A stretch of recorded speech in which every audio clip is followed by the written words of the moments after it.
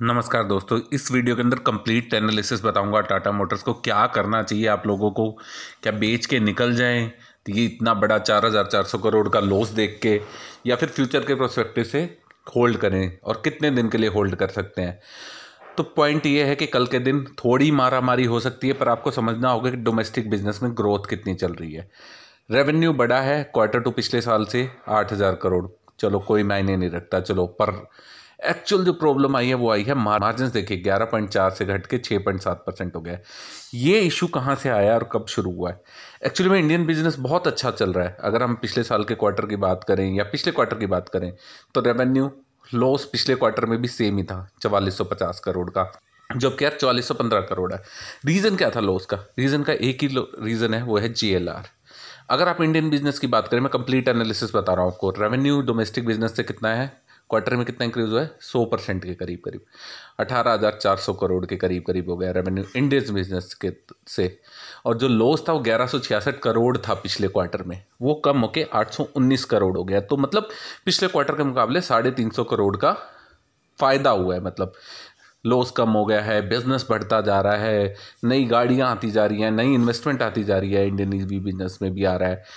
तो घाटे का कारण क्या है और क्या करना चाहिए आपको? ये स्ट्रेटजी बहुत ज़रूरी है दोस्तों, वरना आपको बहुत नुकसान हो सकता है। वीडियो को अंत तक देखिएगा और लाइक शेयर ज़रूर कीजिएगा अगर पसंद आए तो। तो जो मेन रीज़न है वो है J L R Jaguar Land Rover chip shortage हुई थी चिप शॉर्टेज की वजह से इनकी प्रोडक्शन कम हो रही है। प्रोडक्शन कम हो रही है तो ये नुकसान में जा रही है। अगर मैं चार हज़ार चार सौ करोड़ की बात करूँ, उसमें पच्चीस सौ करोड़ से ज़्यादा का नुकसान तो जे का है। तो जेएलआर का नुकसान का कर क्या सकती है? कंपनी अभी चिप शॉर्टेज से रिकवर नहीं कर सकती।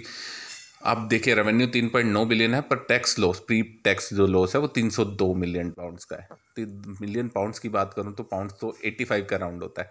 तो ये करीबन करीबन आपका पच्चीस सौ, छब्बीस सौ, सताईस सौ करोड़ सताईस सौ करीब करीब। तो अब क्या कर सकते हैं? अभी कल दो तीन दिन प्रेशर में रहेगा ये स्टॉक नज़र बनाए रखेगा। प्रेशर में सेल करके आप निकल सकते हैं अगर आपने बहुत पहले ख़रीदा था तो। और लोअर रेट्स पे दोबारा बाई कर सकते हैं। ये ध्यान रखिएगा लोअर रेट्स पे इसका जो लेवल है, जहाँ पे ये रुक सकता है, वो है चार सौ। चार सौ के लेवल पे रुक सकता है। ये वो है पोल्स भी कह रहे थे कि तीन हज़ार छः सौ पचास का होगा पर आठ, चार हज़ार चार सौ। मेन है रेवेन्यू बढ़ा है बट जो मेन घाटा हुआ है वो किसमें है? मार्जिन बहुत कम हो गए हैं। प्रॉफिटेबिलिटी कम होती जा रही है वो जे बिज़नेस की वजह से। तो लोअर लेवल पे खरीदने की कोशिश कीजिएगा, निकलने की कोशिश कीजिएगा, पर लॉन्ग टर्म के लिए बहुत अच्छा है। अगर मैं बात करूँ तो घाटा हो सकता है जिन्होंने हायर लेवल पे ख़रीदा है बट लोअर लेवल पे जिन्होंने ख़रीदा है, और लॉन्ग टर्म तीन से चार साल का जो सोच के चल रहे हैं, उन्हें कोई प्रॉब्लम नहीं होने वाली है। बेचिए हायर लेवल पे बेच के निकल के दोबारा लोअर लें थोड़े मुश्किल, रहने वाले, आने वाले दो चार दिन पर डरने की कोई बात नहीं है लॉन्ग टर्म वालों को।